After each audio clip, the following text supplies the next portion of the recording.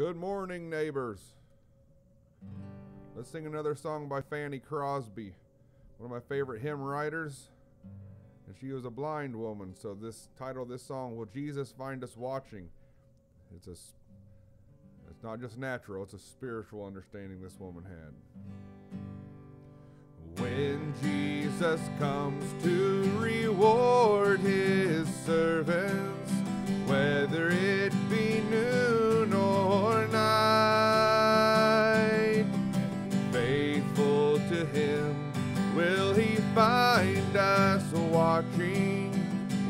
our lamps all trimmed and bright.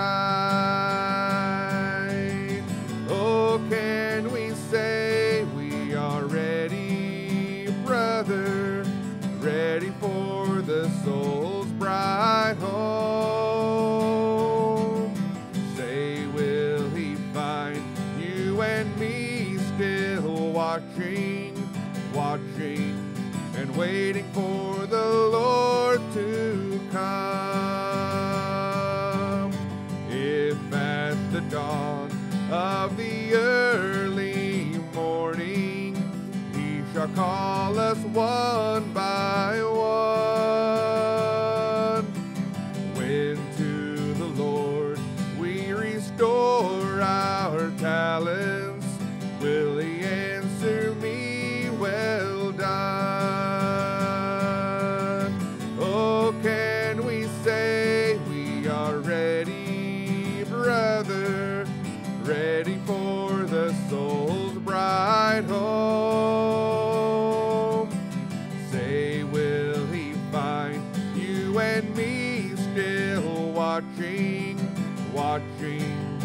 waiting when the Lord shall come? Have we been true to the trust he left us? Do we seek to do our best? If in our hearts there is not condemns us, we shall have a glorious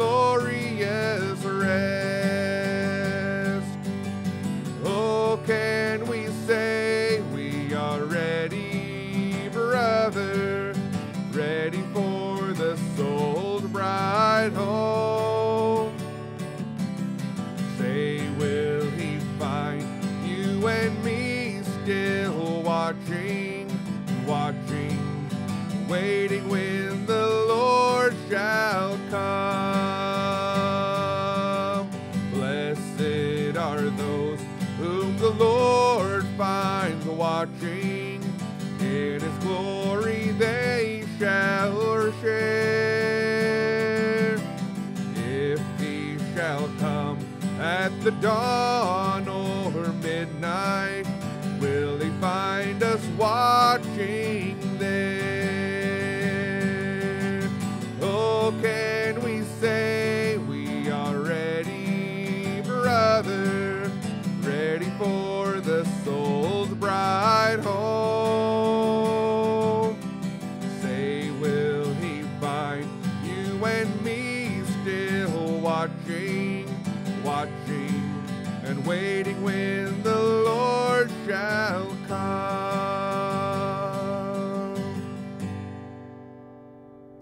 Praise the Lord. Are we watching and waiting when the Lord shall come?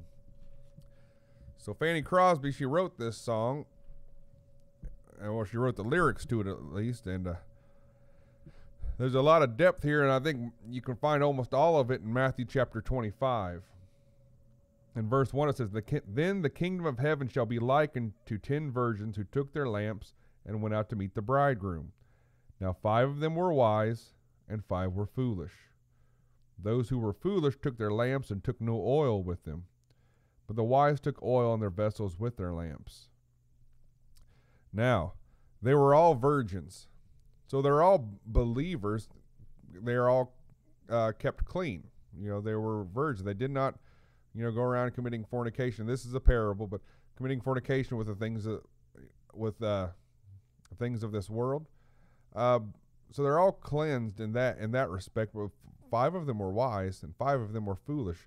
The wise took oil in their lamps. This signifies they they went the whole the whole way. They went and prepared themselves with the oil. Their lamps were all trimmed. They were ready when the bridegroom would come, because the bridegroom, and according to Jewish culture, they would uh, they would come at different hours, and you know you were prepared. You were you were called as the bride to go prepare itself. The bridegroom will come at a time like Jesus say, at the time you don't know. You know, if you understood their wedding cultures, the, a trumpet would sound, and that should signify something. If you're a Bible reader, the the trumpet would sound, and you're you've got to be ready.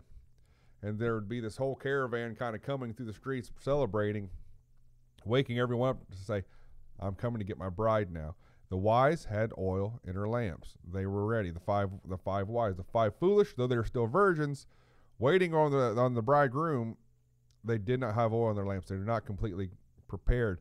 What is that oil? It is the gift of the Holy Ghost, as we've been saying the last few days. It is the Holy Spirit residing within you. Some people like to say, well, the five foolish or lost and the five wise are, you know, the are just Christians. But no, they're all virgins. They're all waiting. But five were ready for the rapture, for Jesus to return, the bridegroom. Jesus is the ultimate bridegroom. They're waiting for his return. They're all waiting for his return, but five were wise. They're prepared. But it says, But while the bridegroom was delayed, they all slumbered and slept. You know, uh, waiting throughout the church ages, waiting, you know, but when the sound comes, and at midnight a cry was heard, Behold, the bridegroom is coming, go out to meet him. Then all those virgins arose and trimmed their lamps. And the foolish said to the wise, Give us some of your oil, for our lamps are going out. But the wise answered, saying, No, lest there should not be enough for us and, and you, but go rather to those who sell and buy for yourselves. And while they went to buy, the bridegroom came, and those who were ready went in with him to the wedding, and the door was shut. Afterward, the other virgins came also, saying, Lord, Lord, open to us. But he answered and said, Assuredly I say to you, I do not know you. You know, we don't have this intimate relationship. Watch, therefore, for you know not, know neither the day nor the hour in which the Son of Man is coming. You don't know when the bridegroom is coming. You've got to be ready and prepared. Uh, there will be signs, but the ultimate time, even Jesus Christ admitted, only the Father knows. Because according to Jewish culture, the Father would know when the house is prepared for the wedding and for the couple to come to live there. And it wasn't until the Father gave the okay that the groom could go get his bride. This is ancient or older uh, Jewish custom. But it's interesting what Fanny Crosby says. So that's what she's saying. She's basing it on this scripture. Watch therefore. You don't know when the day or the hour is. So the she asks a question: Are you ready? Ready for the soul's bright home? Say, will he find you and me still watching, watching, waiting when the Lord shall come? Are you still watching? It's a question you have to ask yourself. I, I and no one else can answer that. If you're spiritually looking, but then uh, what it's interesting, Jesus, remember, these are Jesus' words, really, the parable of the ten virgins, but then it's the parable of the talents. It goes right into that. For the kingdom of heaven is like a man traveling to a far country, who called his own servants and delivered his goods to them. And to one he gave five talents, to another two, and to another one, to each according to his own ability. And immediately he went on a journey. So again, it's a story about something's been given. I'm expecting something out of you then I'm leaving, and I'm going to let you prove yourself. So the five, the one man gets five talents, which is a measure of money, and he goes and he trades with, in verse 16, trades with him and makes another five talents. Likewise, the man who had two, he went out and traded and gained two more. But in verse 18, but he who had received one went and dug in the ground and hid his Lord's money. After a long time, the Lord of those servants came and settled accounts with them. You know, Jesus understands who he is. He's trying to break it down very simply so that they can understand. It's like, you know, they would have understood a wedding ceremonies, wise, foolish, oil, lamps, and all these things when the bridegroom comes. They also understand this.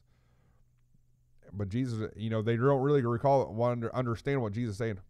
The bridegroom was delayed, and now it's, in this one, after a long time, the Lord of those servants came and settled accounts with them. What he's saying, I'm going to be gone a while. This is going to take a while but I'm going to come back and I'm going to re- expect something. So it, to each one, the five and the two, he says, uh, "Well done."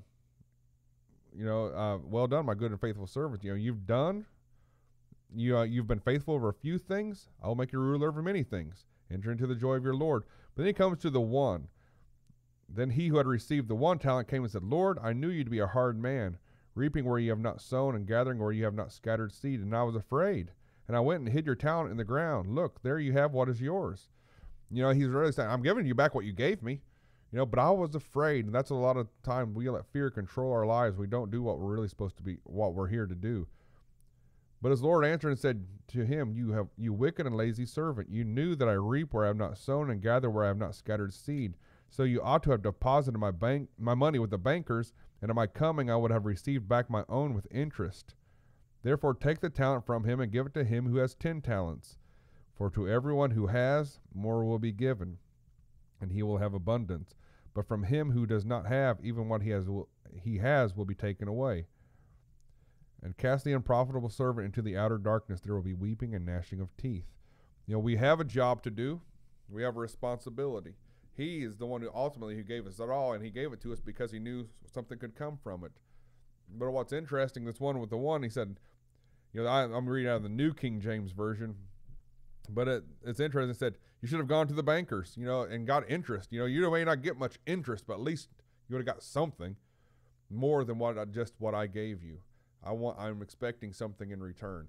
So Lord, help us to be like that and through go throughout this day to work for him and to be able to give back and show him, Lord, this is what I have done and let us all hear those words. Well done, my good and faithful servant. So God bless you and hope to see you again.